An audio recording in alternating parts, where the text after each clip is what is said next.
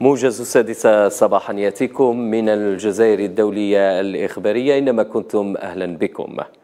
في المستهل يواصل الرئيس الجزائري عبد المجيد تبون زيارة الدولة التي يقوم بها إلى العاصمة البرتغالية لشبونة لليوم الثاني على التوالي.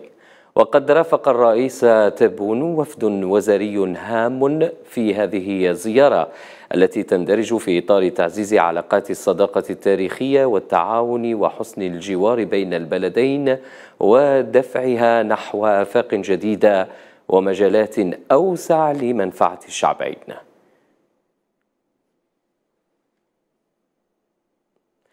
وصف الرئيس الجزائري عبد المجيد تبون البرتغال بالدولة الصديقة بأتم معنى الكلمة مشيرا إلى أن البرتغاليين يستذكرون مواقف وفضل الجزائر.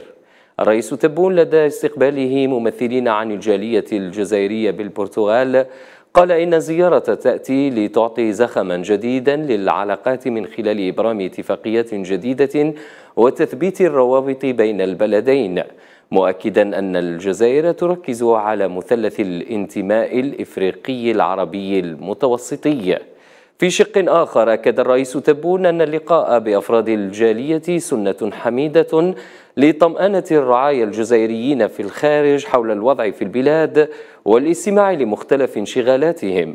مذكرا بالإجراءات المتخذة بشأن استفادة أبناء الجالية من التقاعد في الجزائر معلنا عن اعتزامه اتخاذ إجراءات أخرى لدعم أسعار تذاكر السفر. هذه الصائفة.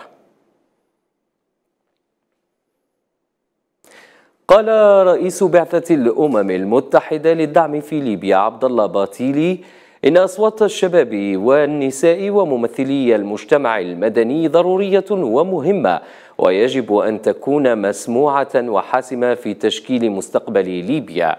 باتيلي أشار عبر تغريدات في حسابه على تويتر إلى أن البعثة الأممية تواصل العمل من أجل إدماج هذه الفئات في جميع مستويات صنع القرار في البلاد. حذر مبعوث الأمم المتحدة إلى السودان فولكر بيريتس الاثنين من تنامي البعد العرقي للصراع العسكري الذي اندلع في السودان الشهر الماضي ومن تأثيره المحتمل على دول الجوار.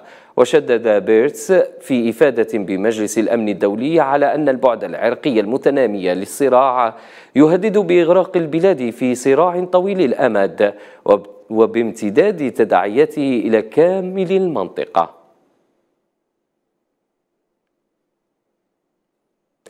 أعلن مرشح الجولة الأولى للانتخابات الرئاسية التركية سينان أوغان دعمه للرئيس التركي رجب طيب أردوغان في الجولة الثانية للانتخابات الرئاسية التي ستجرى في الثامن والعشرين من الشهر الجاري. أوغان أثناء مؤتمر صحفي عقد الاثنين قال إن قرار دعم أردوغان جاء بعد استشارات موسعة مع مسؤولي حزبه معتبرا موقفه نابعا من سعيه للحفاظ على المكاسب التي حققتها الجمهورية التركية. وانتقد المرشح الرئاسي لتحالف الأجداد أحزاب المعارضة بالقول إنها لم تقنح ولم تتمكن من الحصول على أغلبية البرلمان مشددا في السياق على أن الرئيس الجديد يجب أن يكون في حالة توافق مع البرلمان.